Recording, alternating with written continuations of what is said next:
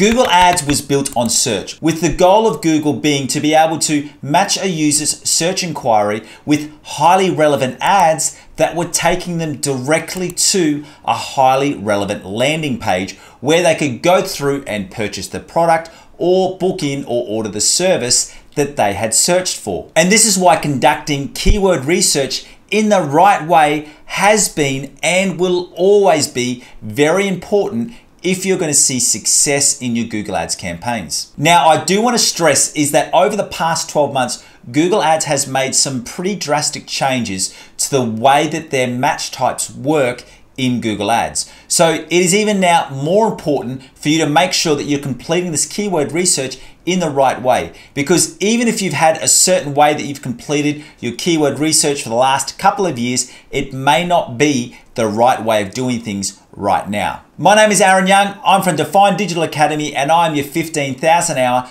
Google Ads master. And in this video, I'm going to show you the step-by-step -step process and how you can go through and complete correct keyword research for your Google Ads search campaigns. Now, completing your keyword research in the right way is one very important step in order to have successful Google Ads campaigns, but it's not the only step. So what I wanna do is I wanna help you right now and give you free access to my Google Ads optimization checklist. And this is a checklist that I still use today because it lets me know exactly what I need to be optimizing in my Google Ads campaigns every 72 hours, every week, every month, and every 90 days. And if you would like to get your free access right now, all you need to do is to follow that link in the description below. But with all that said, let's get straight into today's teaching where I'm going to be taking you through that step-by-step -step process of how you can go through and complete correct keyword research. Now, as you may be well aware, there are three different types of keyword match types in Google Ads. These are broad match, phrase match, and exact match. And right now, let me show you how each of these work. So this information we're looking at right now is from the Google Ads website. And this breaks down how the three different keyword match types function. And they've given the example of if someone was to search lawn mowing service and you were to use the broad match setting for this keyword, it says that ads may show on searches that relate to your keyword. So it would even show for related search terms like lawn aeration prices. Now that is different to lawn mowing, but Google would still deem that to be in the related field. And then if you were to go down to the phrase match, and that will only trigger your ads for searches that include the meaning of your word. So it would block out search terms for lawn aeration prices, but it would show for things like lawn mowing service near me. So it's got that lawn mowing service and then it's added in that extra near me or hire company to mow the lawn. And then when you go over to your exact match, it's going to be a little bit tighter in that it has to have the same meaning. So it's got examples of lawn mowing service and grass cutting service. So they run this across where broad match is very loose, whereas phrase match is moderate and exact match is tight. Now, I know that these are the examples that Google is giving. The only thing that I would say is that exact match keywords do actually operate a lot looser than what Google gives the example here. And in fact, I would even argue that the exact match keyword of lawn mowing service would still trigger ads for searches around like lawn aeration prices, and it could even potentially trigger ads for some of your competitors. And the reason for why I say that is because I want you to keep that in mind for when we get to further steps in this training, especially when it comes to breaking our keyword themes into different ad groups, that point there is going to become very important. Now that you have an overview of how keywords work and the different types of match types function in Google, I want to now take you through the step-by-step -step process of how you can complete keyword research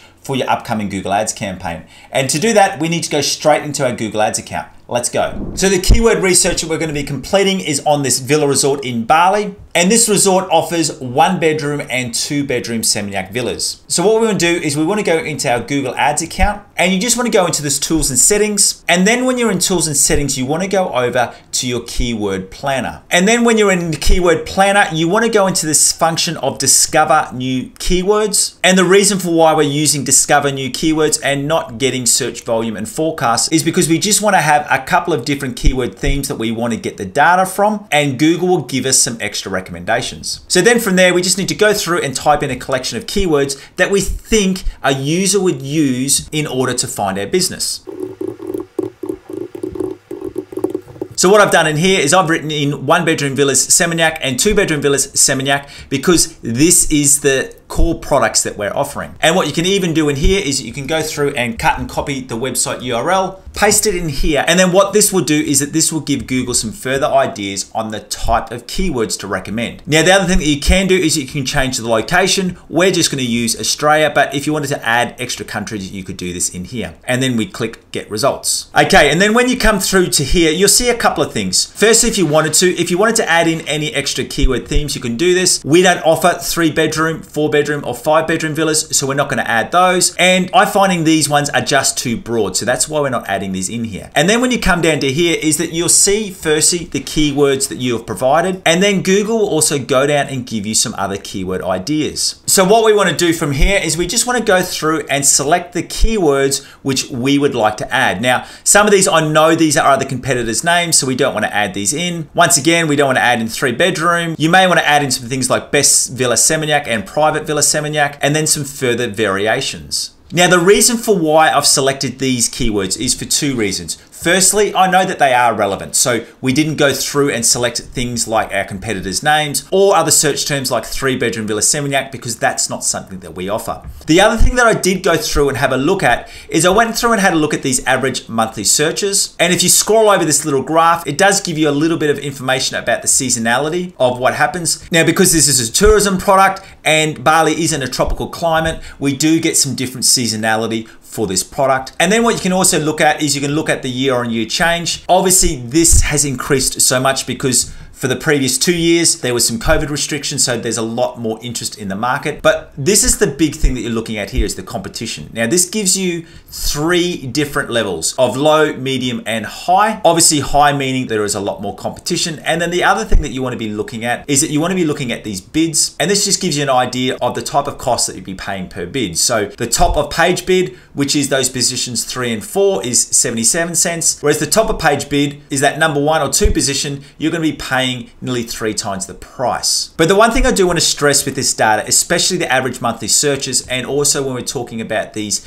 bid ranges, is that this is all indexed data, meaning that it's looking at the history of what has happened and not what could potentially be happening over the coming weeks and months. So I just want to stress is that you only use this as a guide. So when you're looking at the search terms of one bedroom villas Bali, it doesn't mean that there's only 70 searches a month versus the two bedroom villas Bali. It doesn't mean that there's only 210. But what you can draw from that is that this search terms of two bedroom villas Bali has about three times the type of traffic as one bedroom villas Bali. So once you've selected all of your keywords, you then want to go into this new ad group and I'm just going to type in Bali, click create, and then you want to add these keywords. And then after you've added these keywords, you can either click right here, view, save keywords, or you can go up to here into your forecast. Now, this will give you a really quick forecast. Now, this is put $40 a day as a bit of an average, but if you only had $15 a day to spend, you could change this to $15. And then this does give you a rough update of the amount of clicks that you would get for that cost. But what I want to do here is that now that we've gone through and selected our keywords, the next important step is that we need to categorize and put some structure around these keywords. So we don't want to go through and click create campaign straight away because we firstly want to download these and we want to download these historical metrics into a CSV or a Google Sheets. I use CSV just for the pure reason that I find it easier to edit and change this file. Now, once you've downloaded those keyword ideas,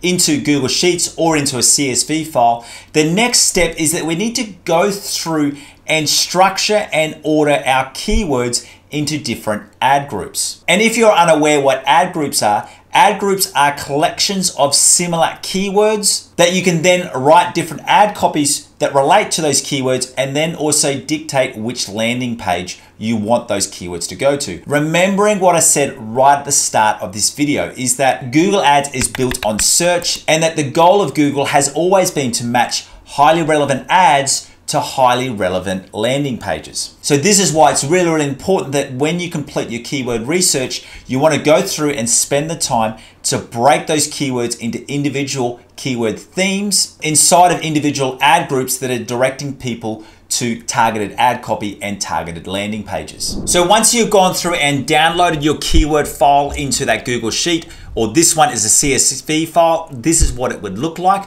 And then what I've done is I've gone ahead and put this into some different keyword themes. So what I did do this is just my personal preference is I like to add in an extra two columns, one for campaign and one for ad group, which I've added to the left here. And then what I also do do is after the keyword, I add in another column and that's where I put in the URL. And then this just allows me to plan out where I'm gonna be sending these different keyword themes to. So what I did through here is that I got all of the keywords with one bedroom or one bedroom villas Bali or Seminyak and I grouped them all together in one campaign through here with one ad group. And then the same thing for the two bedrooms. I grouped them in here. And then finally for all of those other general keyword themes. Now remember when we spoke at the start of this video about how Google has recently changed its keyword match types. And before this change, in the one bedroom villa campaign, you would have potentially had two or three different ad groups. And same with the two bedroom villa, you would have had at least two different ad groups, breaking down the people who are using the letter two versus the other people who are typing it out. And same with the villas general. And this is what your ad group and keyword structure would have looked like is that you would have had your total Google Ads account. Then you would have had your one bedroom villa campaign, your two bedroom villa campaign, your Bali general, and your Seminyak general. And under the one bedroom villas, you would have broken your keywords down to those keywords which were talking about one bedroom villa Bali and the other ones which are talking about one bedroom villa Seminyak. But because now what I'm finding very, very much that if you were to type in one bedroom villa Bali or one bedroom villa Seminyak, even on an exact match, is that it would still trigger the ad. So the new recommendation that I would be giving is that this is how you would structure your campaign. In that, in your one bedroom villas, you would just have one campaign for your one bedroom villa and one ad group, which would have all of these keywords in it. Same with the two bedroom villa and then same with the villas in general. And then as you can see my keyword planning, you can see here that I've got different URLs. So I'm sending all of these keywords in relation to the one bedroom villas to the one bedroom villa Seminyak page. And then two bedroom villa, sending it to the two bedroom villa Seminyak page. And then we've got the others going into our general homepage. So that's the new format that I would be using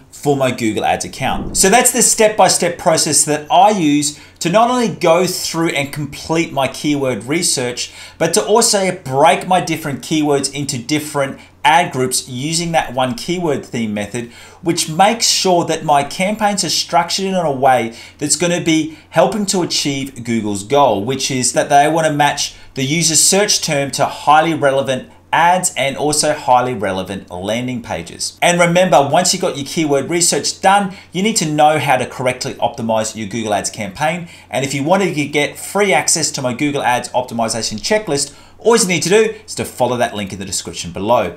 And if you've now completed your keyword research and you're ready to go through and set up your Google Ads search campaign and you want some extra guidance in how to complete that in an easy to follow step-by-step -step manner, just like I've taken you through on your keyword research, all you need to do, follow this link right here. Thank you again. See you next time.